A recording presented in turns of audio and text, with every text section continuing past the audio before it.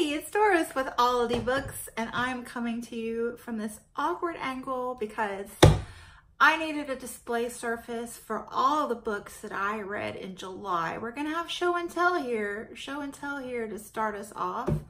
Um, yeah, it's not about me, it's about the books. So let's get to it. In the month of July, I was having a 30 books in 30 days personal challenge and emphasis on personal because yes, I did work the system. I did. But you know, it's it's not about the reading of the 30 books themselves. It's about the motivation to read the 30 books and I was highly motivated with this challenge. So let's just let's just get going. I read um five picture books. Okay. Skippyjon Jones, Class Action. Highly recommend Skippy John if you haven't read him. Uh, Splish Splash Splat. Pete the Cat, Rockin' in My School Shoes. Back to school we go.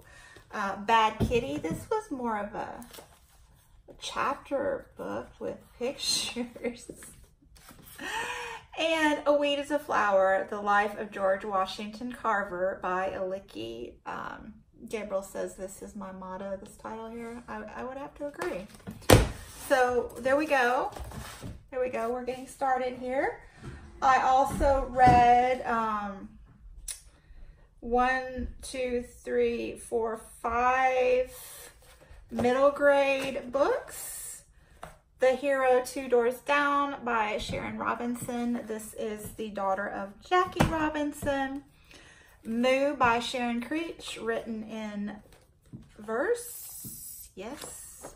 Save Me a Seat, Oopsie, by um, Gita Varadarajan and Sarah Weeks. And Towers Falling by Jewell Parker Rhodes. Um, the Firefly Letters by Margarita Engle, also written in verse. And Another Brooklyn by Jacqueline Woodson. This is kind of YA slash adult. Uh, I believe maybe written in prose poetry. yes. And let's just throw in a couple of graphic novels. Uh, they called us Enemy by George Takei and Showa. This is number four, The History of Japan from 1953 to 1989. So there you go. Uh, a poetry collection, Wade in the Water by Tracy K. Smith. This is the Poet Laureate prior to this one and really good collection.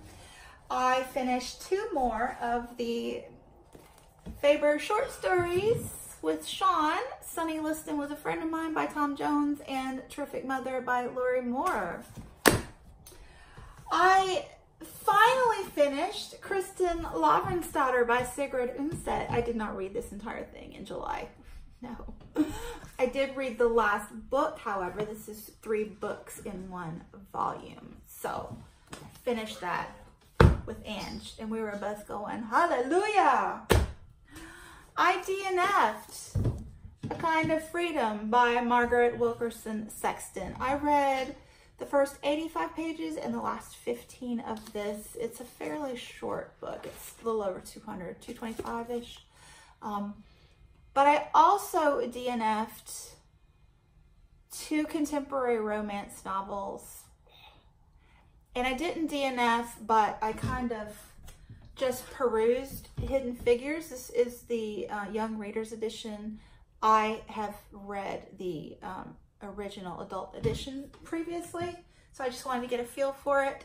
Um, and I watched the movie as well. Highly recommend both um, anyway.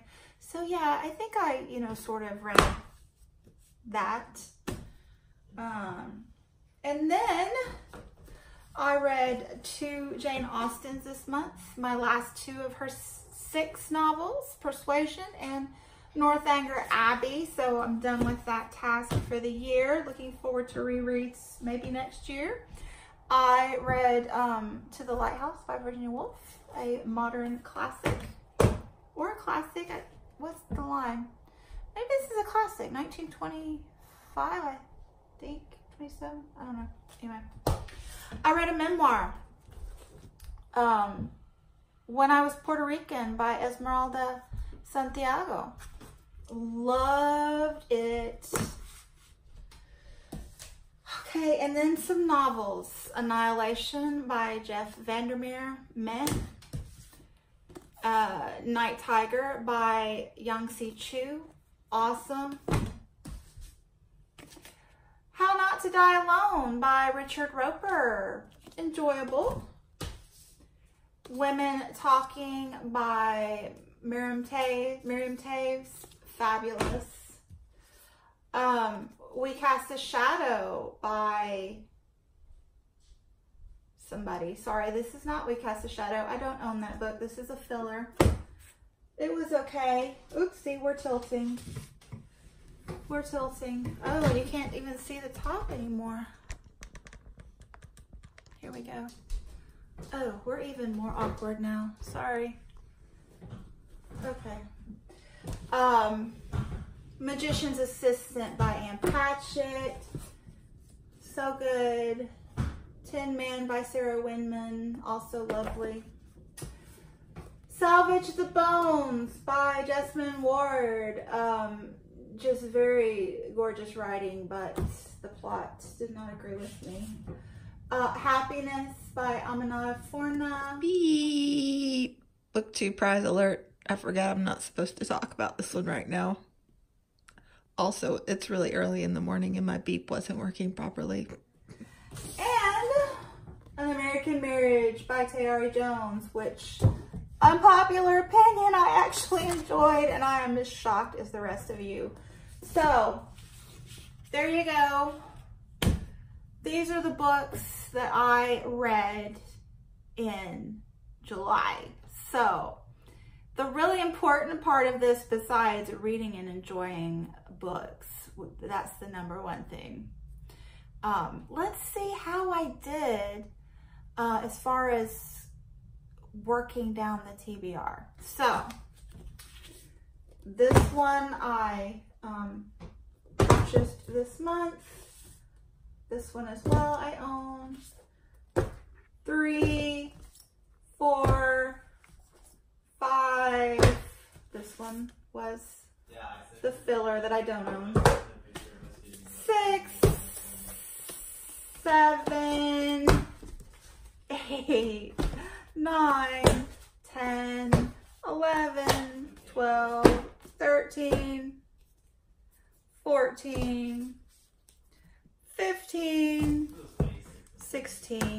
17, 18, 19, 20, 21, 22, 23. And these do not come off my TBR. So 23 yeah. off my TBR. I wonder if I counted wrong. So 23, 24, 25, 26, 27, 28, 29, 30, 31. 32. So 32 for the month. I did have to stretch it 30 books in 31 days because on day 30, I wasn't there. Let me double count these again.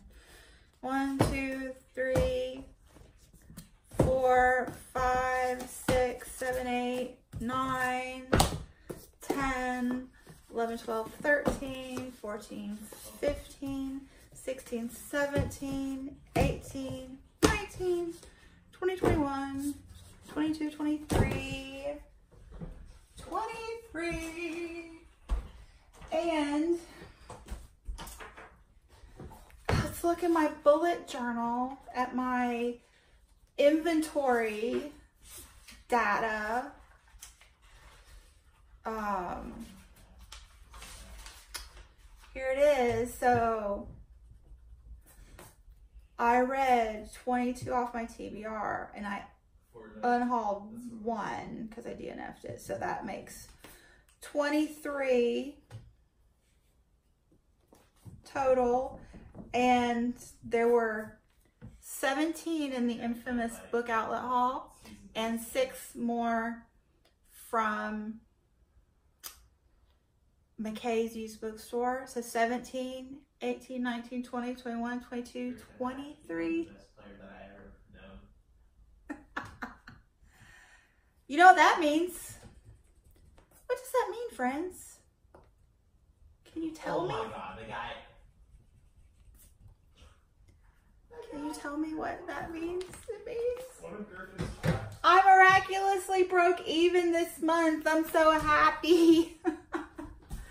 you know, 17 books in one box is a bit excessive. So anyway, let's get to the August TBR now, finally. So first up, let's remind ourselves of the elephant in the room. This is my haul revisits from 2017 and we are well past 50 books now. Um, I'm thinking about doing a try a chapter tag with the top five here. So maybe, maybe, but let's talk about that maybe part. So the thing is, I have kid kids playing games. What's what's you know anyway.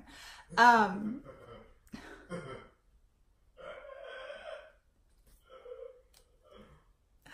yeah. So the maybe part is that as you can imagine, after a intensive month in which I attempted to read 30 books and put up a video every day, Right um, yeah, I'm a little bit.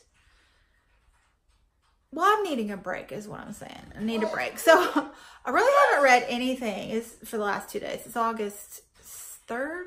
Yes, it's the 3rd. And I didn't read much of anything the first and second. I think I listened to an audiobook, which I decided that's not working as an audiobook, and that's about it. This morning I did start reading again, so I'm back in the game.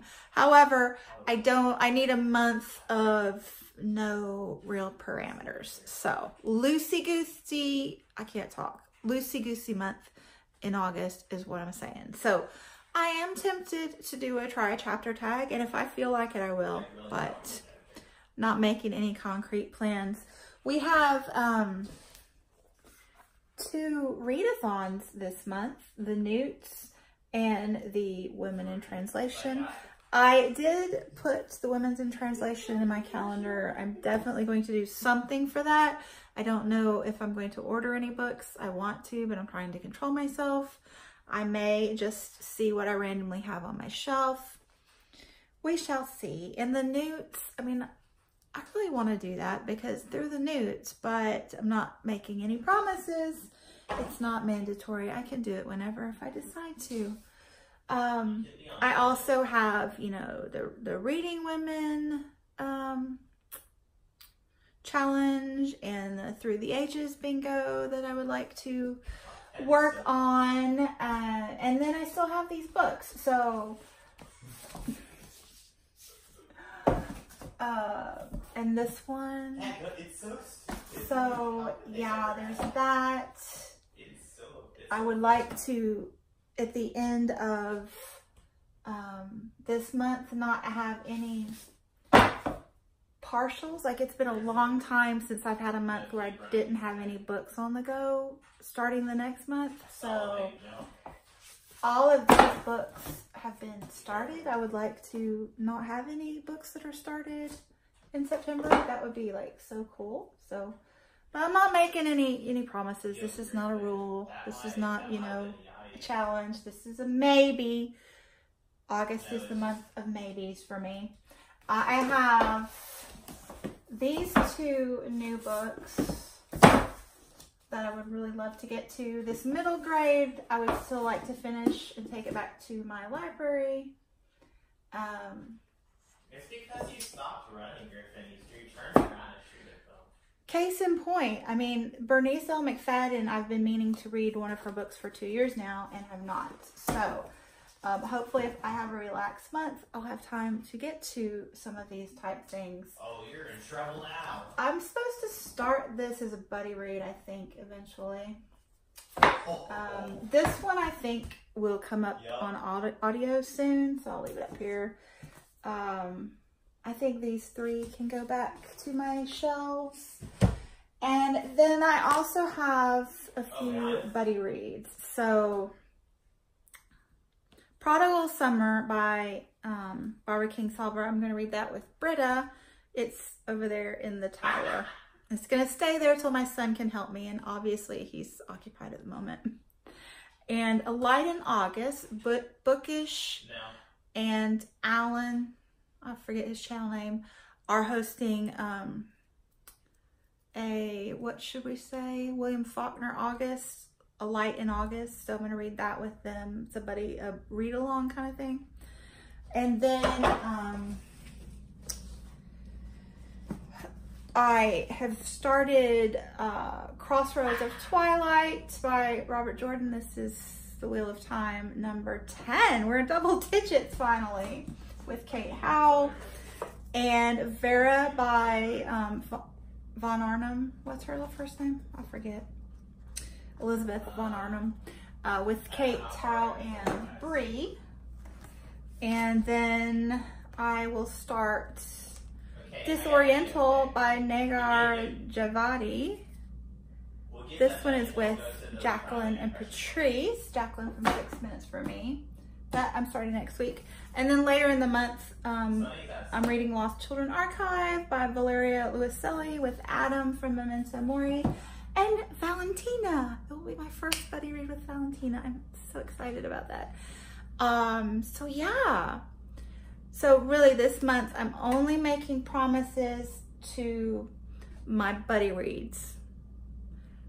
And I will read It's so crazy how these for Women in Translation month, but I haven't decided my plan of attack with that. But those are my only two promises. The rest is a list of maybes so I can read a little more freely. I'm trying not to schedule any more buddy reads in August than I already have. You know me, I have bad FOMO when it comes to buddy reads, but I'm trying to push them all into September. Uh, so yeah, I think that's it. Thanks so much for watching and yay, books! See you soon. Bye.